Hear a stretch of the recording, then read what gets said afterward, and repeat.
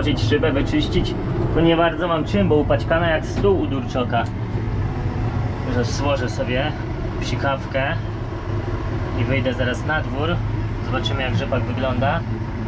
Tak bardziej organoleptycznie. Bardziej... Bardziej blisko? Nie, to nie jest po polsku. 2200, a nie. To w sumie. Dobra.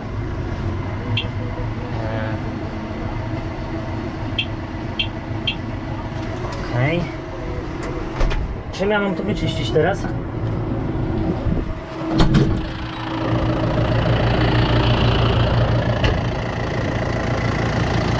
O! Jakie uniwersalne maseczki, no proszę.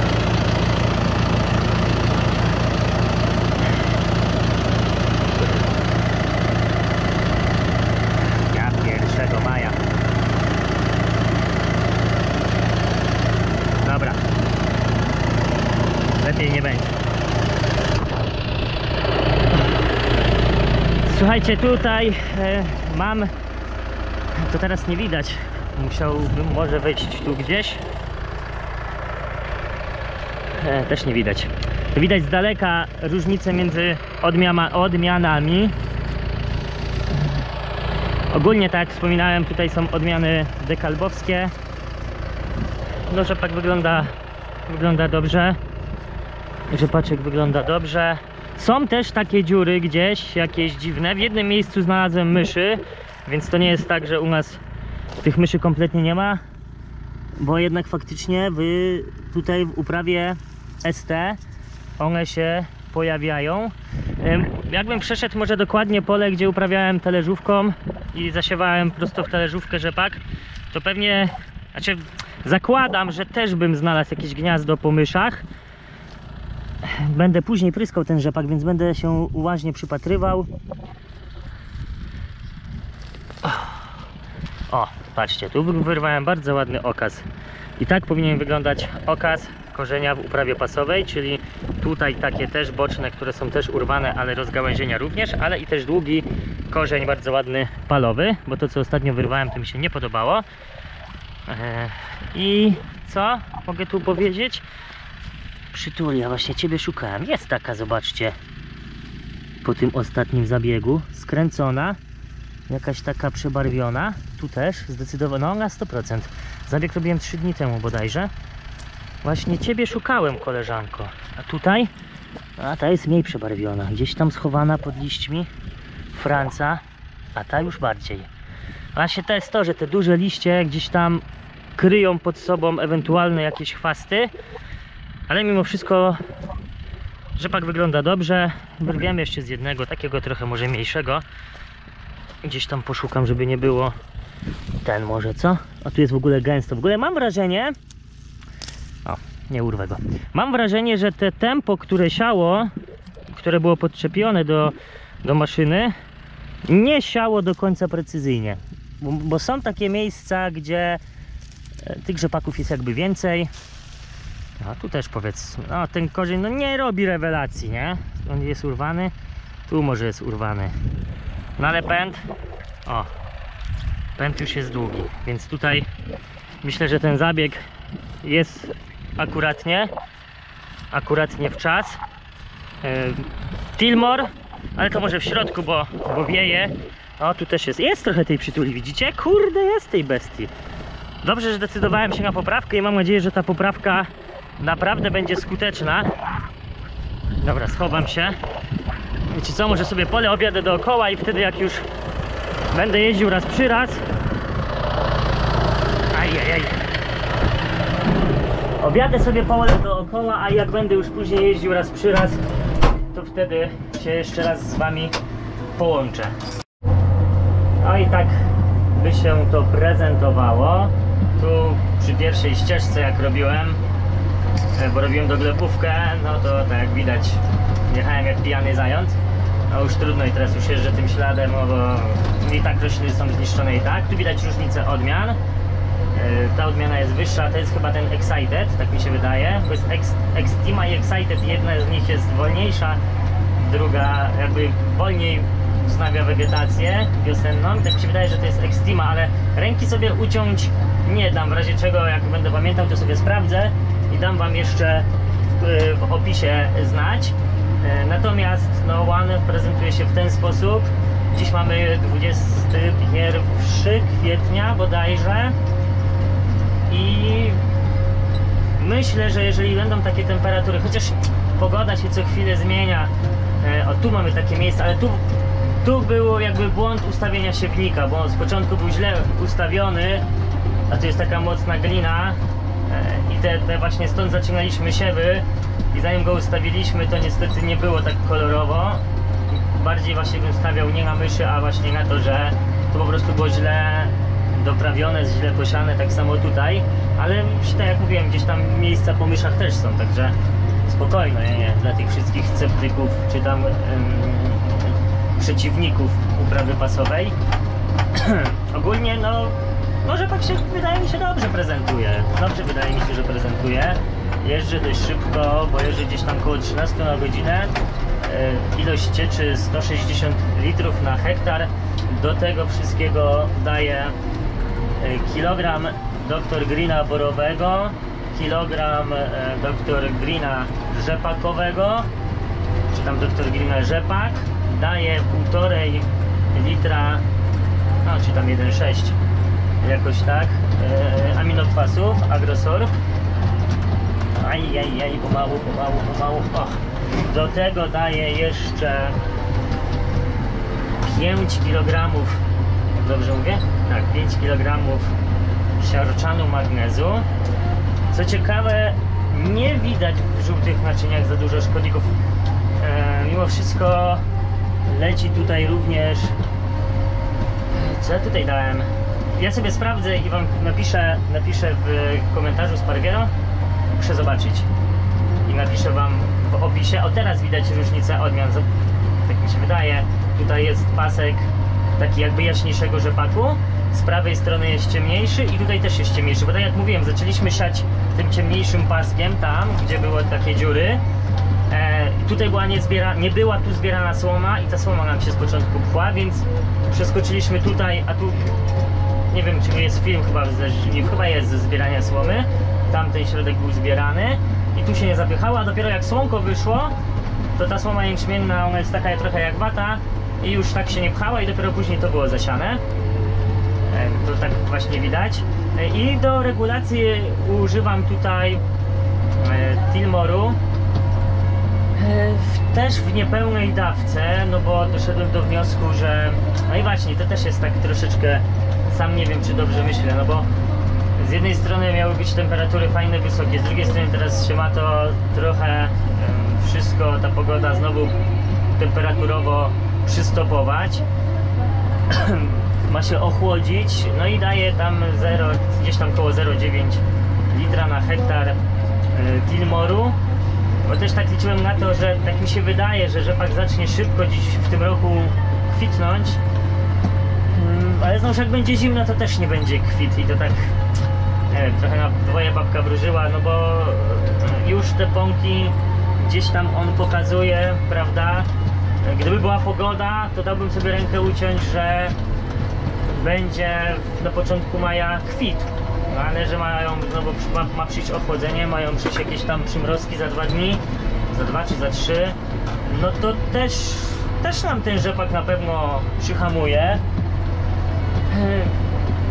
No i tak sam nie wiem, ale wydaje mi się, że te 0,9 to powinno yy, do Prexu tego, Boże, Tilmoru, Tilmoru wystarczyć. Jak wiecie, Tilmor, tak mi się wydaje, że wiecie, bo ja już nieraz o tym mówiłem, jest takim troszeczkę słabszym regulatorem, a i to w sumie dobrze, bo, bo to już jest trochę chyba późno na taką typową regulację. Jest bardzo dobrym fungicydem, Proteconazol tutaj naprawdę kapitalnie działa e, fungicydowo, e, zwalcza te najważniejsze choroby. E, I pomysł jest taki, żeby zrobić tak jak w zeszłym roku podobnie, czyli zrobić taką tę dwójkę azoksystrobiną, no jakąś strobiluryną w dawce 125 gram na zielony pąk jest nie wyj. Na zielony pąk, żeby przedłużyć tą ochronę No i wtedy na taką pełnię kwitnienia propuls również w obniżonej dawce gdzieś tam, no to dawkę uzależnia na pewno od pogody, o tu mogły być myszy. Yy, Ale chodzi o to, żeby, żeby gdzieś właśnie troszeczkę z tymi dawkami uciekać, dać je troszeczkę mniejsze, ale tą ochronę jakby kontynuować przez dłuższy okres, zawsze jakimś tam preparatem, troszeczkę o innej mechanizmie działania, bo jak damy strobilurynę, teraz dajemy triazolę, prawda, no bo też z protokonazolem mamy tebukonazol, damy yy, strobilurynkę, to będzie taki też yy, osobny mechanizm działania, ale też będzie przedłużał nam tą ochronę. Yy, ta działka wygląda dobrze, tutaj w jednej dawce RSM 170 kg czystego azotu plus 150 kg korn kali. Jest ten rzepak za gęsty moim zdaniem, za gęsto był zasiany, no ale, ale trudno, no tak, tam, tak był zasiany i tyle i tutaj nie ma teraz co, co marudzić. E, Ogólnie no to wygląda, wygląda to dobrze. Wygląda to dobrze. Tutaj jakby nie ma naprawdę powodów, żeby w jakikolwiek sposób narzekać na te rośliny, na tą, na tą plantację. Tu widzicie sąsiad ma e, no, bardzo duże gospodarstwo, tu pewnie ze 100 hektarów rzepaku. E, Też ma ładny rzepak, troszkę może też tak przygęsty jak i mój, ale ogólnie rzepak ma, rzepak ma ładny. Też. E, I coś jeszcze chciałem powiedzieć. Aha, dlaczego, dlaczego mówię, że jakby trzy zabiegi będę robił w rzepaku? No bo prawdopodobnie i tak będziemy gdzieś tam na ten zielony pąk, na luźny pąk, na, na żółty pąk, w momencie kiedy będą gdzieś tam pierwsze dosłownie pojedyncze kwiatki się pokazywały, będziemy robili zabieg e, na słodyżka, prawda? Wtedy, kiedy on jest taki najbardziej niebezpieczny właśnie, w tym momencie właśnie takich, takiego luźnego pąku, kiedy on nam wyjada e, tak naprawdę te pączki, tak to można nazwać i one przez to nie będą wydawały łuszczyn. E, no to wtedy będę robił zabieg, no i żeby tak nie jechać na pusto, to na pewno jakieś tam mikro też dorzucę, ale właśnie wtedy chciałbym również strzelić się właśnie z, ze strobiluryną, która działa zapobiegawczo, tak, i, i fajnie nam by tutaj przedłużyła to działanie bardzo dobrego pierwszego zabiegu e, i również bardzo dobrego drugiego zabiegu, dlatego też e, ja mam jakby świadomość tego, że jeżeli rzepak będzie dobrze chroniony, będzie wilgotno, no to on może jednak w żniwa być stosunkowo później do zbioru, jeżeli nie będziemy go desykować, a nie będziemy go desykować. Absolutnie ja nie widzę powodów. Mam nadzieję, że te chwasty, które gdzieś tam były, zostaną zwalczone. Więc jakby trzeba się już przygotować na to i tutaj tatę jakby uzbroić w cierpliwość też, bo on ostatnio taki mniej cierpliwy jest w żniwa żeby ten rzepak na siłę nie kosić, żeby nie, nie wjeżdżać tutaj na siłę na to pole. No bo nie po to chronimy, e, no tutaj widać wymokło trochę, nie po to chronimy uprawę przez praktycznie rok czasu od zasiewów, no w zimę mamy trochę przerwy, tak, ale dbamy o nią całą jesień, dbamy wiosnę, staramy się zrobić to jak najlepiej, żeby potem tak e, radykalnie, nie wiem, zakończyć żywot tego rzepaku desykacją. Niech on sobie spokojnie sam dojrzeje, zdrowy rzepak, równy, jeżeli będzie stojący, to, to tutaj nie powinno być żadnego problemu, a tu właśnie ten pierwszy zabieg jest tak samo równie ważny jak w przypadku zbóż, gdzie on również w pewnym stopniu wpływa na e, właśnie jakby to, czy rośliny będą stały, czy nie do żniw, ponieważ e, no tutaj zwalczamy te najważniejsze choroby. Mm, Dlatego się trzeba do tego przyłożyć, dlatego ja zawsze mówię, że jakby tak ta regulacja dla mnie to jest takie troszeczkę drugoplanowa, szczególnie jeżeli no, uprawy wyglądają dobrze, a tutaj chyba wygląda to dobrze, a bardziej nam zależy na tym, żeby rośliny były zdrowe, a jeżeli będą zdrowe, to na pewno, na pewno będą sobie stały. Widzicie tutaj takie jakieś dziury, to mogą być myszy, no chociaż u nas właśnie był problem z taką mokrą gliną, wiecie, i, i gdzie niegdzie łapy Czajkowskiego potrafiły wyciągnąć taką większą ziemię, to gdzieś tam dopiero później się jakby skapnąłem, że to tak było. Tutaj też i to tak właśnie na tych ciężkich glinach i to też mogło być od tego, E, ale ogólnie biorąc pod uwagę całokształt wygląda to dobrze. Dobra, nie za, zanudzam. E, tak widzicie 160 litrów, o, nawet mogę sobie szybciej jechać. Gdzieś tam 12-13 na godzinę ogólnie jeżdżę e, i, i polału bywa. Tak tutaj wygląda na pierwszy rzut oka rzepak koło domu, po grochu, uprawiany, e, w sumie, no, uprawiany, zasiany bezpośrednio w talerzówkę. Też idealny nie jest. Byłoby za pięknie, gdyby był idealny, ale wygląda przyzwoicie również, naprawdę dobrze. Gdyby myślę, że gdybyście nie wiedzieli, że on gdzieś tam dostał RSM-em, to myślę, że nikt, zarówno jeden rzepak, jak i drugi, nikt by nie powiedział, że tutaj było robienie, robione nawożenie RSM i że te uprawy zostały bardzo mocno, no jednak bądź co bądź przypalone, spalone liście były w tych uprawach. Tak to w chwili obecnej wygląda. Nie wiem. No, znaczy mi się osobiście, mi się osobiście również ten rzepak podoba. Jesienią odstawał najbardziej od tych e, rzepaków striptilowych. Znaczy w ogóle był naj, moim zdaniem był taki trochę najsłabszy. Gdzieś e, później siany, było sucho, tutaj były bardzo długie wschody, bardzo nierówne te wschody były, bo e, popełniliśmy też pewne błędy podczas wykonywania uprawy, mianowicie najpierw było to raz uprawione talerzówką, tata gdzieś tam się uparł i uprawił na 10 cm na głęboko. No, w sumie zamysł był dobry. Zamysł był dobry, miał spaść deszcz, ten deszcz miał gdzieś tam sobie wsiąknąć w glebę i to gdzieś taki miał być delikatny bufor, wtedy mieliśmy drugi raz przejechać, tą wilgoć gdzieś tam wyciągnąć i zasiać. Problem w tym, że ten deszcz nie spadł. Deszcz nie spadł i sialiśmy w popiół. No i już był wtedy problem. I był wtedy problem, bo wschody rzepaku były bardzo rozwleczone w czasie. E, Mocno już groch wtedy gdzieś tam zaczynał też wychodzić, chociaż z początku też go nie było, e, nic nie wschodziło, ale później już, wiecie, ten groch był przygotowany, bo on w glebie był gdzieś tam już głęboko umieszczony, gdzieś tam delikatnie kiełkował. E, I tak naprawdę można by rzec, że uratowały nas te jesienne opady deszczu, ale to chyba można by tak o, o wszystkich uprawach tak naprawdę powiedzieć. E, No ale wyciągnął się, wyciągnął się ładnie ten rzepak. E, Są gdzieś takie strzały miejsca puste i tutaj to wbrew e, może pozorom nie jest, nie jest po myszach. Nie wiem co tam zawiniło, ale takich dziur na pewno jest mniej niż tak mi się wydaje, ale to, to też możecie sami ocenić patrząc na te, na te pole jak wygląda. Moim zdaniem jest mniej takich dziur na tym polu aniżeli e, przy uprawie ST. Oczywiście sama góra no, jest taka poprzeszywana powiedz, powiedzmy pustymi, no podnieś się, pustymi placami, ale to bardziej dlatego, że no, to jest e, stok, więc tej wilgoci zawsze jest tam mniej, prawda? E, No, tak, tak ja sobie to tłumaczę. E, A ogólnie, no to tak wygląda i widać, że ten rzepak jest taki nierówny, prawda? To właśnie jest wynikiem tych nierównych wschodów, takich tych stopniowych wschodów, o czym już mówiłem.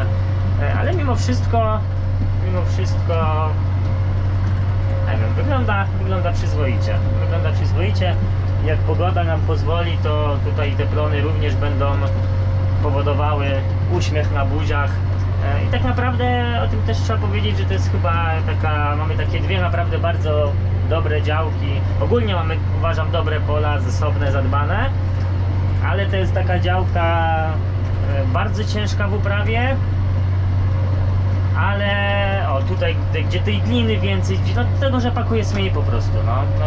No i są takie miejsca i co? Ale mimo wszystko jest to pole bardzo zasobne, bardzo żyzne i tutaj zawsze one się dłużej będzie broniło, jeżeli będą jakieś niedobory wody od innych pól. To mamy te pole takie fajne pod tym kątem, takie naprawdę bardzo mo- mocne, ciężkie.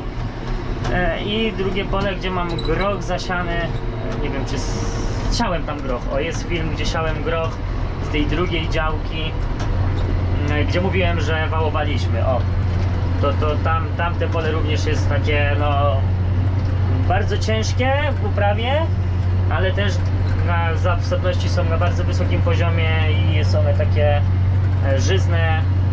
No, ta, glina powoduje właśnie, że, ta, że wilgoć jest dłużej utrzymywana. No oczywiście z gliny i ta wilgoć jest trudniej udostępniana dla roślin. O, jeszcze z sąsiadem widzę, dogadałem się. Sąsiad wywozi mi gnojo, gnojówkę. Gnojówkę, nie gnojowicę, a gnojówkę. Akurat widzę, wjechał na pole. A, niech jeździ. Jak mu tam pasuje. I tyle w temacie.